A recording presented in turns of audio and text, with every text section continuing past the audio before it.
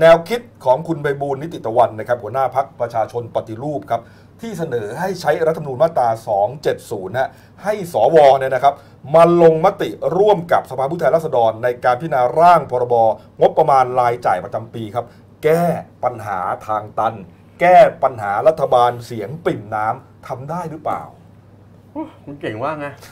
ก็อะก็ก็เมื่อวานชัดเจนแล้วอาจารย์วิษณุเครืองามใช่ไหมอืมคือคืออย่างนี้คือฐานคิดของคุณไพบูลย์เนี่ยอ่าในเมื่อมันมีรัฐบาลเสียงปริ่มน้ำเนี่ยเขากลัครัวบว่ามันจะบวชมันจะโหวตพรบงบประมาณไม่ผ่านล่มก็จบเขาก็เลยไปไปลากไอ้รัฐธรรมนูญมาตรา 270เนี่ยมาตีความว่าให้สสกับสวเนี่ยไปยกมือโหวตในสภาได้โอ้โหกฎหมายก็ประมาณโดยตีความว่ามันเป็นกฎหมายเกี่ยวกับเรื่องการปฏิรูปประเทศ เออเอออันนี้แกก็ลากโยงไปนู่นนี่นั่นอะไรเงี้ยเออเออแต่ว่าท้ายอืมสำหรับผมนะเลอะเทอะอะเหรอคือผมมองว่าอะไรรู้ว่าโอเค ตอนนี้พยายามจะแย่งกันตั้งรัฐบาลอยู่ แล้วก็ง่ายๆแล้วคุณไพบูลย์นี่ก็แน่นอนว่าเชียร์ลุงตู่อยู่แล้ว แล้วพยายามให้รัฐบาลลุงตู่ไปต่อได้ให้ผ่านงบประมาณไปให้ได้ เพราะถ้าเกิดงบประมาณไม่ผ่านมันเกิดอะไรขึ้นรัฐบาลมันต้องนั่นใช่ไหมใช่มันมันก็ก็ไปต่อไม่ได้ก็นะกต้อบงก็ต้องลาออกเพคือราะว่าไม่มีเงินไปทำงานไงพูดง่ายคือวันเนี้ยองคาพยพทั้งหมดเนี่ยพยายามจะให้ลุงตู่เนี่ยได้อยู่ต่อทำขนาดนั้นเลยคือมันเยอะไปป่ะผมว่าเออไม่ต้อง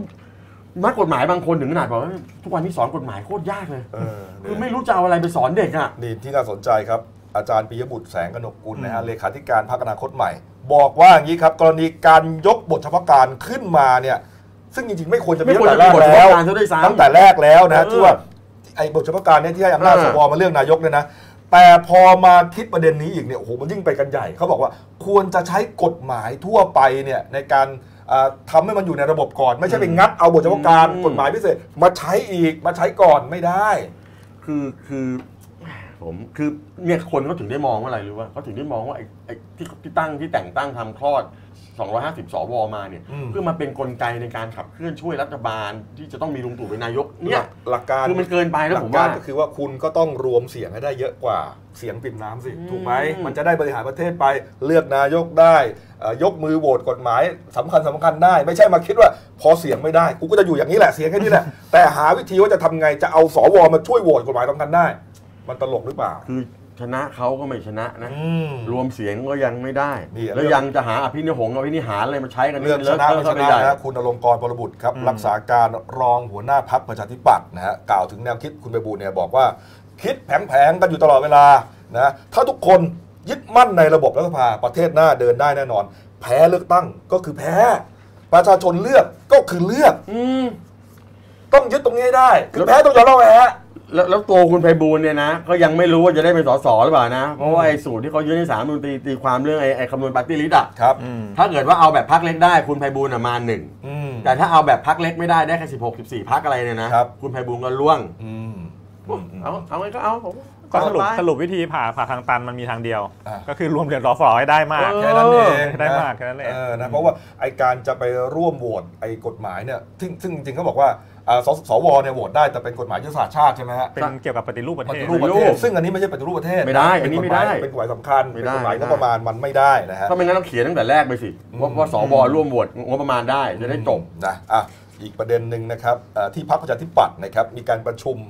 เอ่อกรรมการบริหารพรรคนะฮะก็หารือกันถึงเรื่องการเอ่อกำหนดนะฮะที่จะมีกรรมการบริหารพรรคชุดใหม่นะฮะอืมเห็นว่าเขาเขามีการประชุมเพื่อที่จะเอ่อเลือก คณะกรรมการกำหนดกฎเกณฑ์ก่อนครับกำหนดหลักเกณฑ์ของครับการบริหารพรรคก่อนฮะ นะฮะเมื่อวานนี้ แต่เมื่อวานนี้คุณพีก็บอกว่าเอ่อสรุปไม่ได้ข้อสรุป สรุปไม่ได้ข้อสรุปผมก็ยังงงๆพอดีคุณพีเลี้ยงการเมืองเขาบอกเออสรุปเขาก็ยังไม่ได้ยังไม่ชัดเจนเนี่ยผมเก่งตรงนี้ เออ ก็เอ่อเบื้องเบื้องต้นเนี่ยหัวหน้าพักเนี่ยก็คือสรุปเลยเดี๋ยวเราเราก็ไปรอรอเลยหลังหลังประกาศรับรองผลเลือกตั้งวันที่9ครับใช่ไหมครับ บวกไปอีก5 6วันก็น่าจะมีความชัดเจนประมาณวันที่ 15 ครับผม พฤษภาคม ครับตอนนั้นอะก็จะได้รู้ละเกี่ยวกับหน้าตากรรมการบริหารพักชุดใหม่ แล้วก็หัวหน้าพักว่าใครอืมครับ นะอืมอะเขารอให้กกตเคาะชื่อให้เรียบร้อยก่อนอะอีกประเด็นหนึ่งครับ กรณีเมื่อวานนี้ครับคุณแสวงบุญมีครับรองเลขาธิการกกตครับแถลงผลการประชุมเอ่อผลการประชุมของกกตนะบอกว่าที่ประชุมกกตเนี่ยมีมตินะครับให้นับคะแนนใหม่ในเขตเลือกตั้งที่ 1 จังหวัดนครปฐมทั้ง 236 หน่วยเลือกตั้งนะฮะแล้วก็อีก 9 หน่วยเลือกตั้งนอกเขตรวมถึงนอกราชอาณาจักรด้วย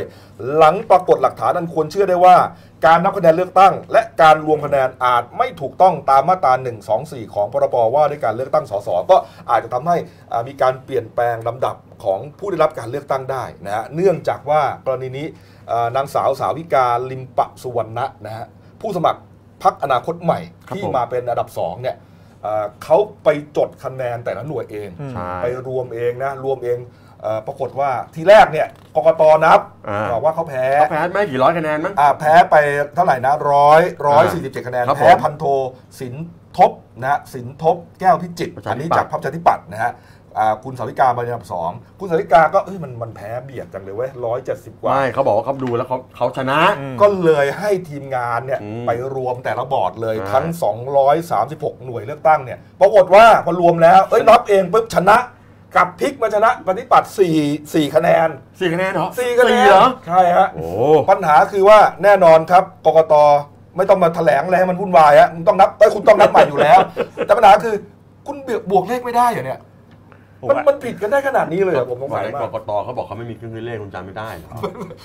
มันเป็นตลกร้ายที่แบบว่าร้ายกาจมากอันไม่นี้ไม่แต่ว่ามันอาจจะเป็นไปได้ อันนี้ถือว่าทุกคะแนนมีความหมายจริงเขาๆหมายนะพี่แดนจริงเออๆไม่แต่อันนี้ใช่ไหมเดี๋ยวไปร้องเขาให้นับใหม่เออถ้าเกิดมาชนะสี่คะแนน เดี๋ยวประชาธิปัตย์ก็ต้องกลับไปร้องใหม่เออเอาเพราะเพราะตอนแรกอะก็เขาเขาเขาตอนแรกเขาบอกเขาเขาชนะร้อยกว่าคะแนนไม่เหรอตอนแรกที่ประกาศอะเออยังไม่เป็นทางการแต่อะผมเชื่อว่าเขาต้องเอาเชิญตัวแทนของทั้งสองพรรคเนี่ยใช่มาเดี๋ยวมาเป็นสักขีพยานนั่นแหละเป็สักขีพยเออให้มันจบไง แต่ผมว่าผมดูแล้วแบบการเมืองบ้านเราไม่จบหรอก